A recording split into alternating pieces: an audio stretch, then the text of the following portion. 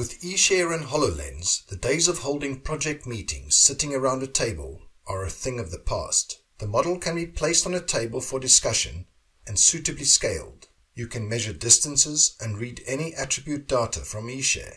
The model can also be aligned with the real environment if the meeting is on site.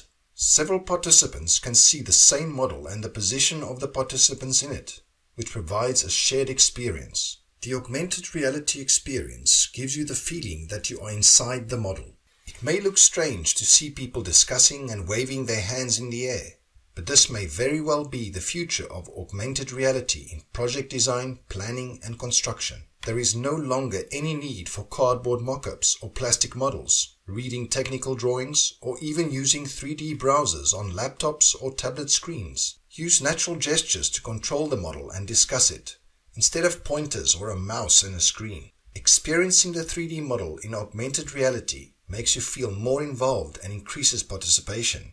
It also enhances understanding and awakens the imagination. Design is moving away from workstations and computers. It is coming closer to real and full-scale project surroundings.